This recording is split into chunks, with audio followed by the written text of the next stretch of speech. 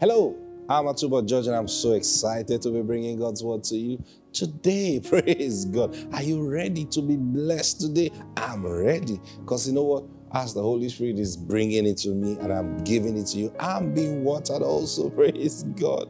Are you ready to call forth your daily bread? Say this with me. Say, Father, I believe and I receive my daily bread today. In the name of Jesus, it's coming to me now. Amen. Praise God.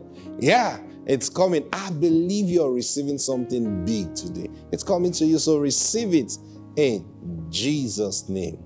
Amen. And even as we go into today's broadcast, precious Lord, thank you for your spirit that will guide us into all truth.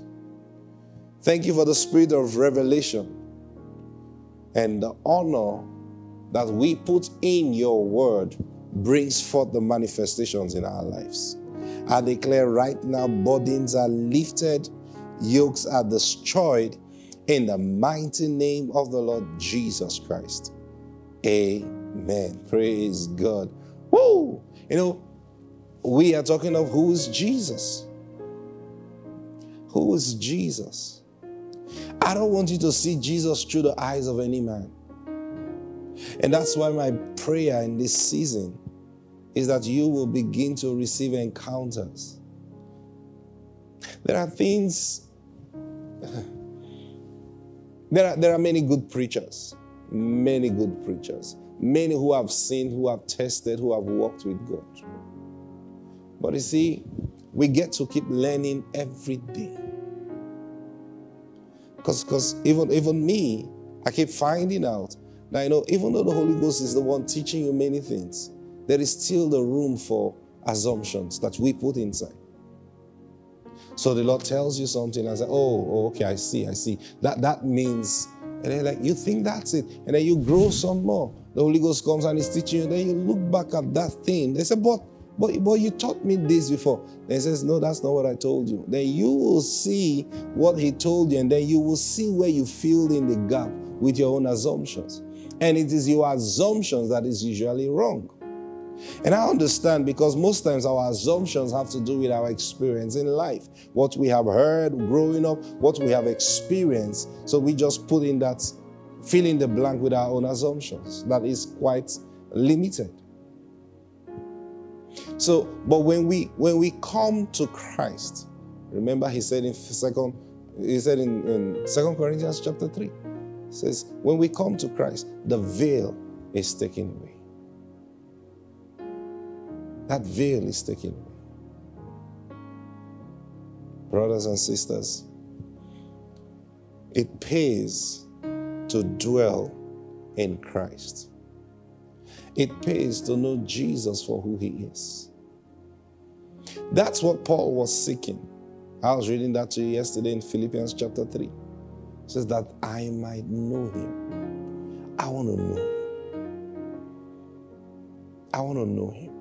Yes. But then be careful when you now begin to say, I want to know the power of his resurrection. I said there's a truth to it. You know, but then you can know him and the power of life that is living. The life in itself is the resurrected life, or rather, the very essence of life. Because when you put resurrection life, automatically you're moving your mind towards death. But you can just go, the life, the power of an everlasting life. Hallelujah. The power of an everlasting life. It is that power that raised Jesus from the dead.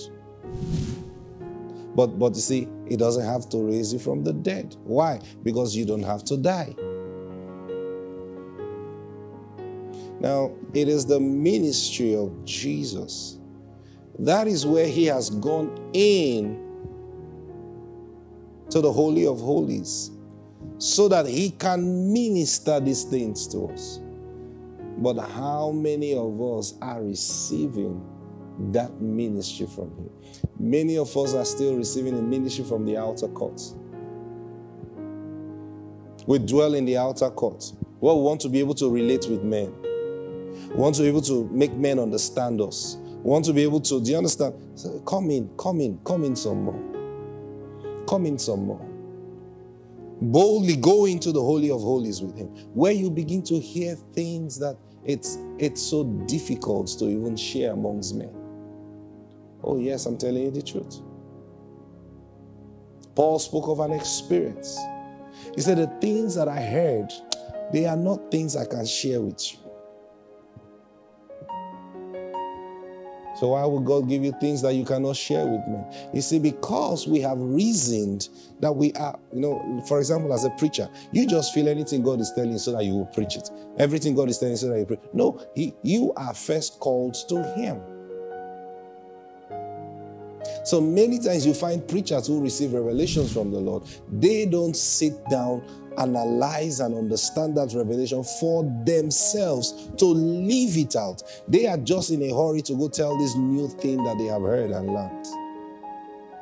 But that's not so. He's called you to be His minister, He's called you to fellowship with Him. It is from the abundance of that fellowship and testimonies. See, because that fellowship will produce testimony. And because you believe that testimony, you will not keep quiet. You will share that testimony then with proofs. Book of John. Let me show you something. Chapter 14. Thank you, Lord Jesus. Verse 19. John 14 and verse 19. Jesus speaking here, he says, A little while longer, and the world will see me no more. I want you to follow this. A little while longer, and the world will see me no more. But you will see me. Because I live, you will live also. Wow.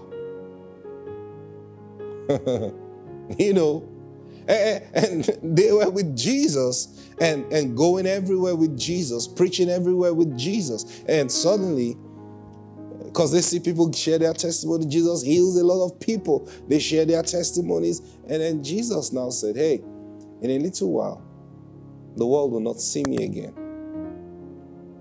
Okay. But you will see me. Now, this was what inspired. Let, let me read this. Hmm. Oh, librande que sabraka shabadia. and, and, and look at this now. He says, let me just read it again. A little while longer, and the world will see me no more, but you will see me. Because I live, you will live also. And at that day, you will know that I am in my Father, and you in me, and I in you. Thank you, Holy Spirit. Let me show you something.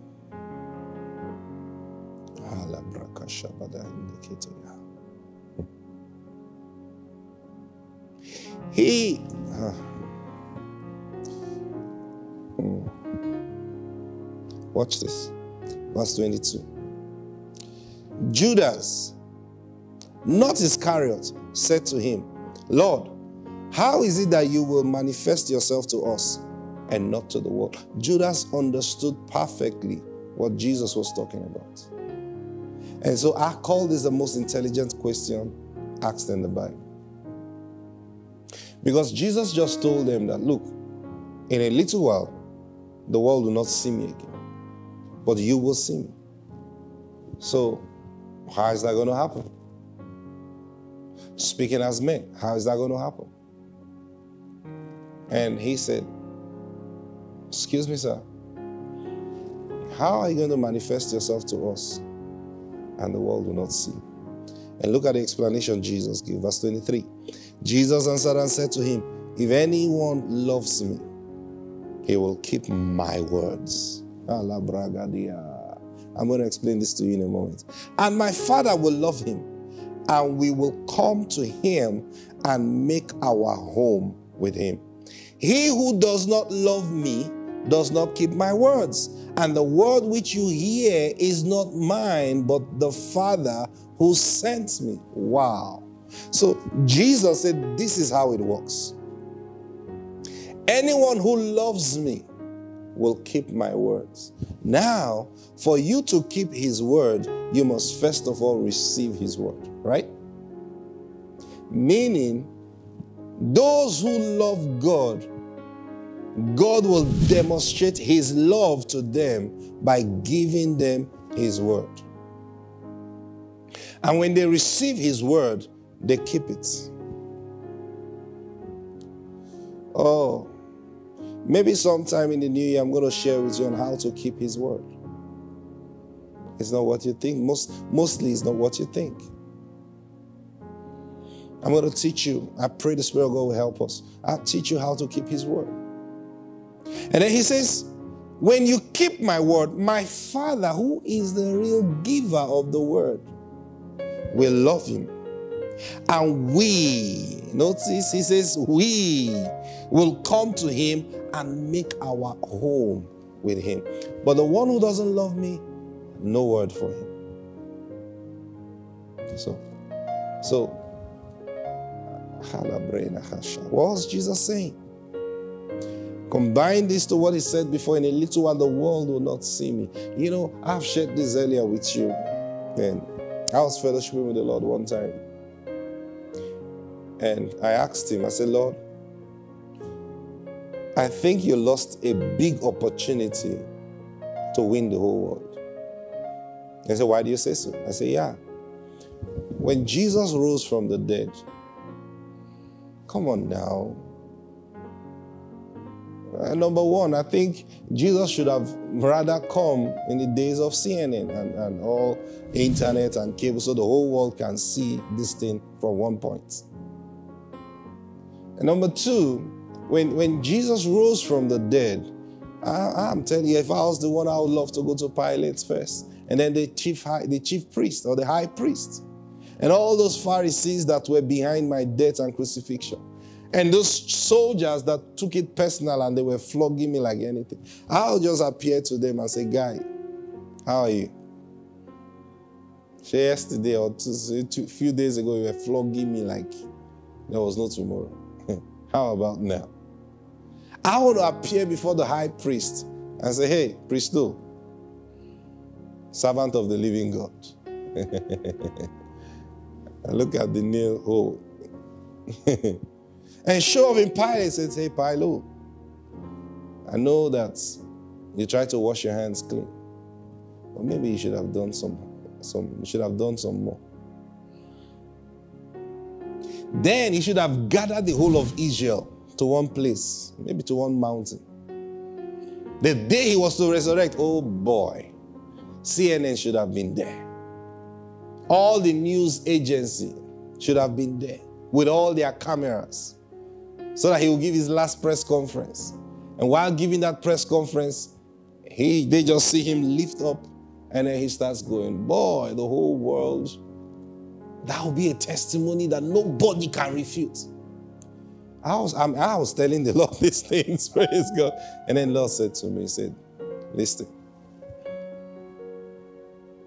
there was no way they were going to see me. You see, this God, eh? he can bust your bubble. I'm telling the truth.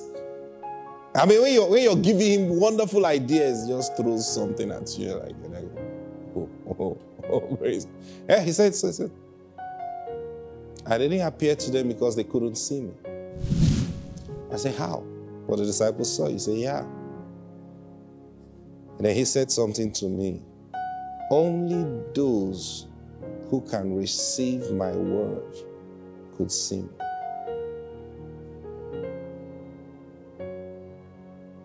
Because when he rose from the dead, hear me, he didn't rise the same Jesus that died. Oh, my time is up. I'll continue from here tomorrow. Father, I pray that you open our eyes. Our eyes are so little, our hearts so dull. That because it has not been taught perfect truth. But Lord, you are changing that today and bringing your truth into our hearts. And we have quick understanding by your Spirit. even as we understand these things. In Jesus' mighty name. Amen. God bless you. I'll see you tomorrow. Bye.